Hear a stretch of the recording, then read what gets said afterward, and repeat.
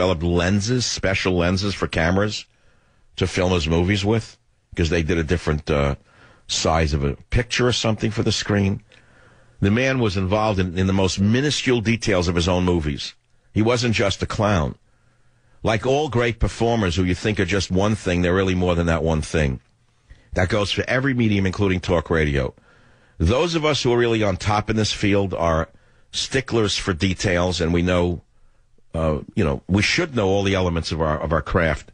In addition to talking, we should also know about the microphone, microphone levels, uh, things of that nature. Oh, I just got a pain in the left side of my neck. Why did I say that? Because I'm troubled with my microphone. so be- before we get uh, sidetracked, we don't even have time to play it. We play one Jerry Lewis thing. Okay, here's Obama. And what was he on? The uh, what channel was this on? This came to us from the Christian something or What's EWTN? I don't know what it is. Well, it would be nice if someone spelled it. See what I mean by sticklers for details? No one knows what EWTN is because I didn't say to him, spell it out before the show. Okay, here is Jerry Lewis slamming Obama in clip two. You can't really knock the president per se because he was never given to understand that's out there. He was never ready, he was never prepared for it. And what I'm watching in him is uncertainty. And you don't have uncertainty in a leader. A leader doesn't give a what he does, but he gets it done. Next on ISIS clip three, please. You got to remember something that ISIS has attacked the world. Right. Okay? And we've got, all of a sudden, I'm wondering, where are all of our NATO allies? Why don't I have Germany and Italy and Great Britain? Why don't I have all of them, including Spain, doing something? Get all of your military together, bring that military to our military, and wipe them out. They're asking to be stopped. And we're not stopping, and we're just reporting what they're doing. That's ridiculous. A comedian would be a better commander in chief than the imposter from Honolulu. Back in a minute on the Savage Nation.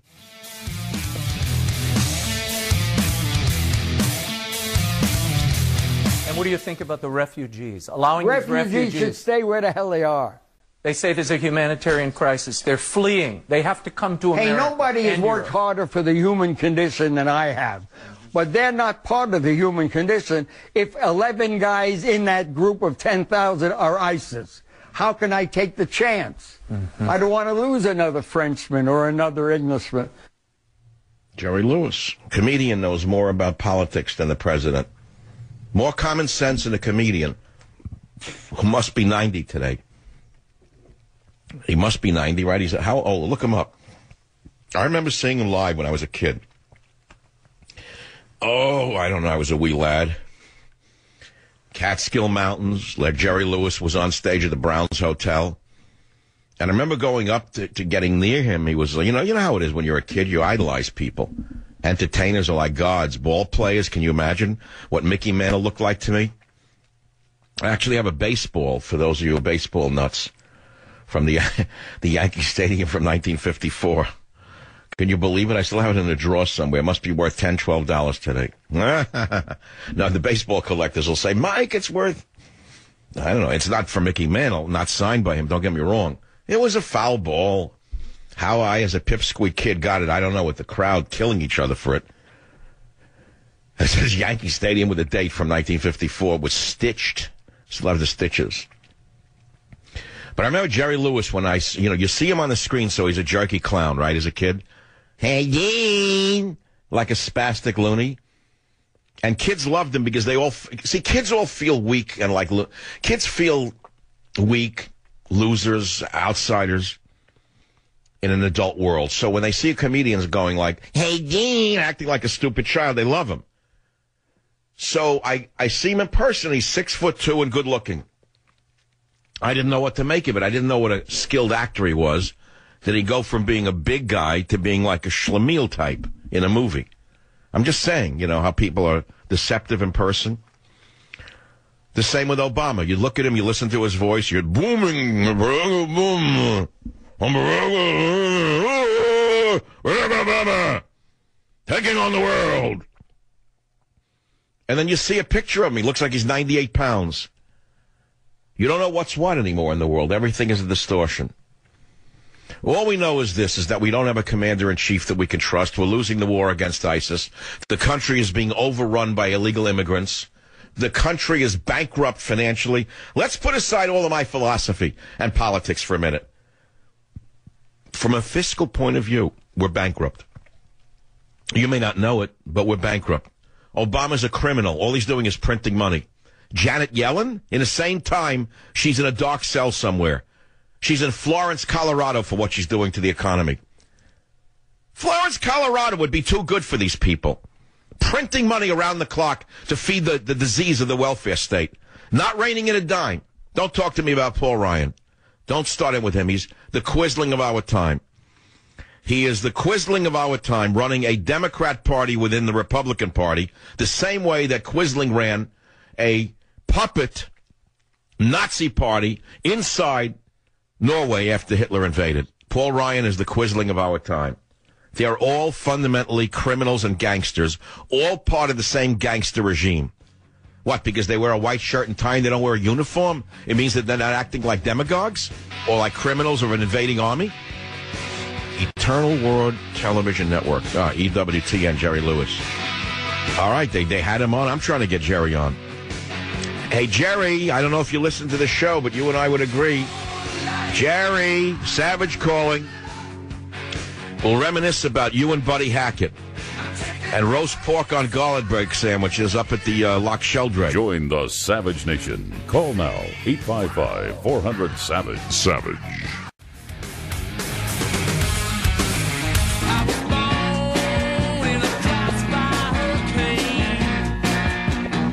I don't want to hear the Rolling Stones ever again.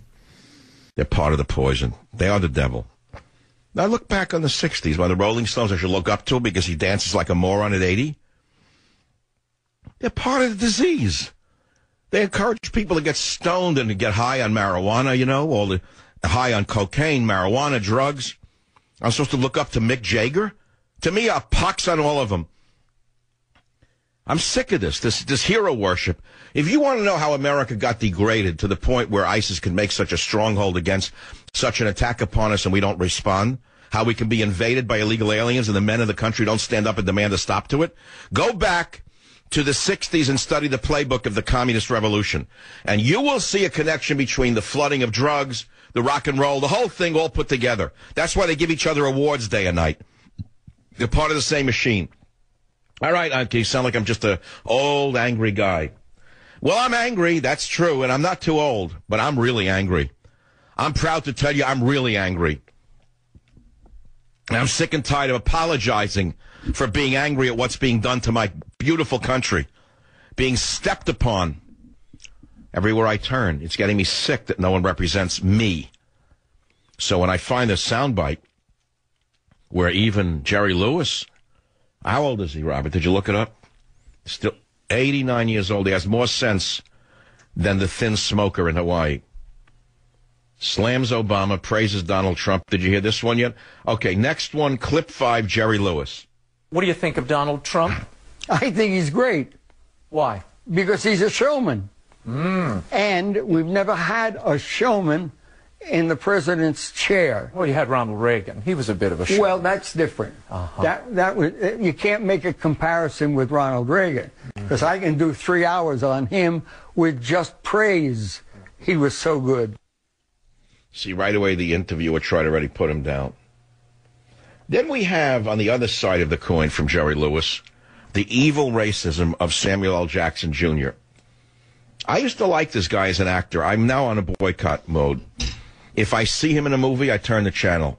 I won't even let I won't even let my cable channel record that I'm watching anything with this racist pig in it. It's not the first time Samuel. Jackson Jr. has shown his racism, by the way. In the following clip, in an interview with the Hollywood Reporter, Samuel L. Jackson Jr. exposed himself for being a hater of the highest order. He said he wanted the San Bernardino shooter to be another crazy white dude. And you're going to see his movie put out by, by, by what, Harvey Weinstein's distributing it? Harvey Weinstein, another prize American. Maybe the ADL can give Harvey Weinstein another gift. Listen to this now in clip six. When that thing happened in France, we're sitting there going, oh my God, these terrorists. All of a sudden, I can't even tell you how much that day the thing was happening in San Bernardino. I was in Hawaii. How much I really wanted that to just be another, you know, crazy white dude. and not really some Muslims, you know, because it's like, oh, shit, it's here. And it's here in another kind of way. Now, okay, it happened at an army base and it happened somewhere else. But now it's like, they have a legitimate reason now to look at your Muslim neighbor, friend, whatever, in another way now. And they become the new young black men. Oh, man, you're down with them, huh? You're down with them, man. That is so cool. You're down with the young Muslim men. You know, lock arms together and march in the streets for ISIS, Sammy. Sammy, get yourself a black flag and march in the streets. So he exposed himself for what he is. Hates whites. Hoped it would be a white man, but it wasn't. And now it's okay to look at your Muslim neighbor friend. And they become the new young black men. I've known young black men who weren't like what he's describing. I don't know. What does he only know? Young black men who are rebe- rebels and revolutionaries who hate America? I met many young black men who don't hate America in my lifetime. When I was a young teacher, I taught at all black schools. Not everyone wanted to be like Samuel L. Jackson Jr. Not everybody wanted to be uh, like Martin, what's his name, uh, whatever the one. Jackson, Jesse High. What does High Jackson has to say uh, recently about uh, ISIS? Nothing. Didn't doesn't affect him. Can't put anything in the kitty from it. No marching for Jackson in solidarity with American victims of radical Islam. Or old Al Sharpie Tongue? Old Sharpie Tongue has nothing to say about ISIS? No, he just wants Cincinnati and Cleveland to burn now. Where do they get all these marches in every city over every time there's a police incident? Right away, bing, out of the woodwork. Give me minus 10, bingo, there they are, they're marching already. All right, line five, KSFO, what's on your mind? Go ahead, please. Actually, yeah, KSFO, Bill.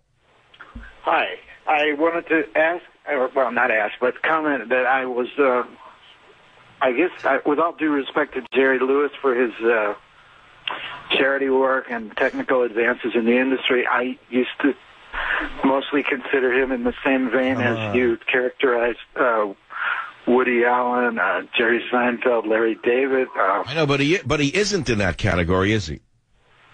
Well, no, I've repented of my false view, I guess you'd say. But um, so you're saying you thought he was another liberal comedian, right?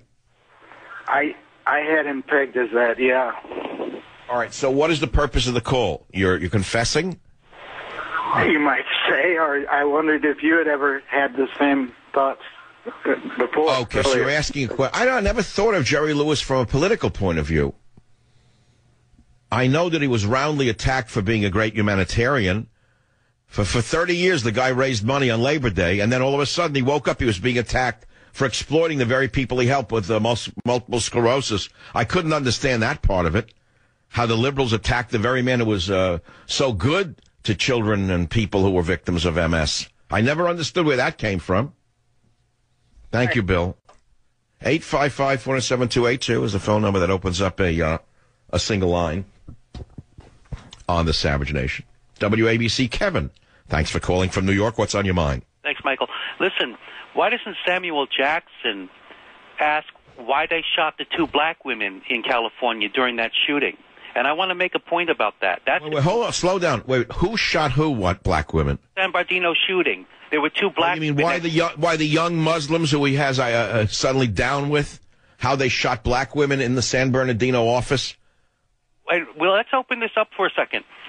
Okay, when you observe postal shootings, witnesses, survivors say that he was he shot the guy right next to me. He looked at me and, and shot the next person, the supervisor. They selectively shoot who they execute in these shootings. How could you shoot black women, Muslims? How could Muslims shoot black women? The two black women, you would think they would have put them out of the room. And I want black. Well, you, you would also think that the liberal media would have shown the faces of the San Bernardino victims repeatedly so we all can join together against radical Islam. What do you think? A beautiful black 27 year old and another lady, a black lady. Well, I guess Samuel